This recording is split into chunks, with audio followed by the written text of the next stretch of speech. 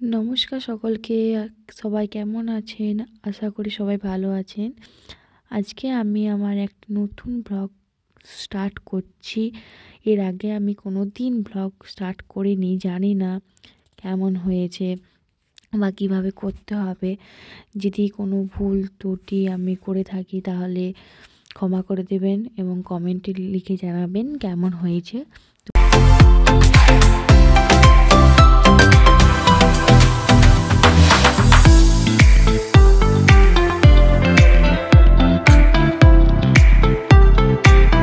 সকালবেলা উঠে আমি রেডি হয়ে গিয়েছিলাম। কারণ সকাল সকাল আমার টিউশনি থাকে, তো আমি সেই জন্য আমি রেডি হয়েছিলাম। প্রথমে একটু ক্রিম এবং তারপর আমি লিপ বাম ইউজ করেছিলাম।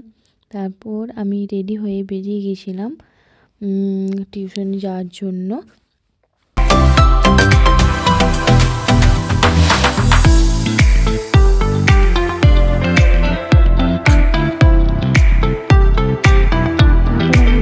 এসে স্নান টান করে একটু বারান্দায় ঘোরাঘুরি করছিলাম। সমস্ত কিছু দেখছিলাম। আমি ওখানে প্রায় দিন আসি। প্রায় দিন না, বলতে গেলে প্রতিদিনই আসি। তো আমি এখানে ছিলাম এবং আমার চারপাশটা আপনাদেরকেও দেখাচ্ছি যে আমি কোথায় থাকি, না থাকি। পরের দিন জানাব আমার সমস্ত কোথায় থাকি, না থাকি। তারপর আমি রুমের মধ্যে এসে বসেছিলাম একটু পড়াশোনার জন্য। কারণ আমি যেহেতু এখন কলেজে পড়ছি সামনেই আমার এক্সাম আছে। সেই জন্য আমি একটু পড়াশোনা করছিলাম সব কিছু নিয়ে। তারপরে খাওয়া দাওয়া বিকেলবেলা বেরিয়েছিলাম। বিকেলবেলা বেরোনোর সময় আমি স্কুটি নিয়ে বেরিয়েছিলাম। একটু আমি একাই বেরিয়েছিলাম।